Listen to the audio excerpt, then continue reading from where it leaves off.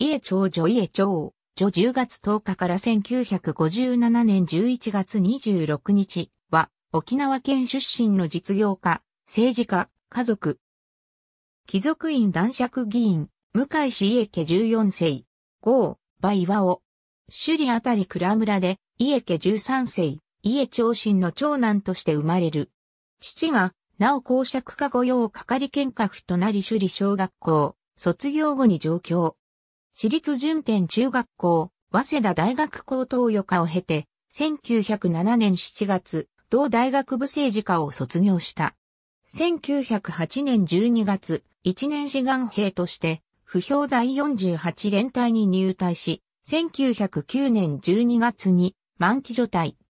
帰郷後、1911年5月、沖縄電気軌道会社常任監査役に就任。1913年3月に同社を辞任し、翌月、首里区会議員、沖縄県会議員に当選。1914年9月、沖縄銀行取締役に就任。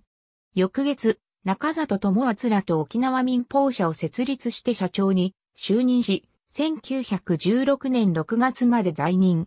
この新聞の創設や銀行の経営問題などから久信と対立するようになった。1916年11月、沖縄県会議長に就任し、1918年1月まで在任。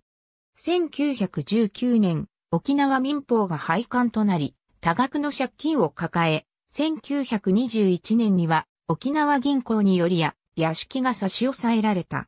同年2月、父が死去し、同年3月30日に男爵を終爵。その後、すべての職を辞して上京した。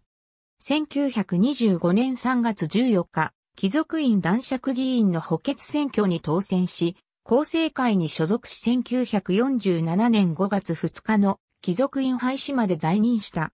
この間、土木会議議員を務めた。1940年11月、沖縄新報社長に就任。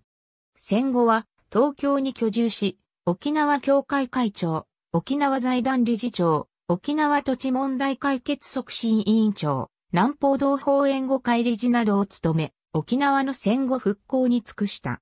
ありがとうございます。